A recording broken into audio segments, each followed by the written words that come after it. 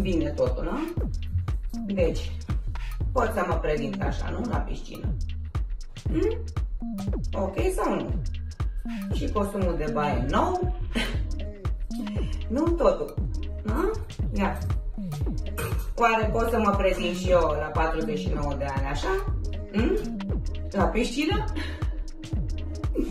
Hai că sunt bine. Ce să mai faci, nu? Ia. Cam așa.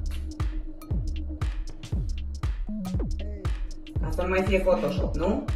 Ce ziceți? Hmm?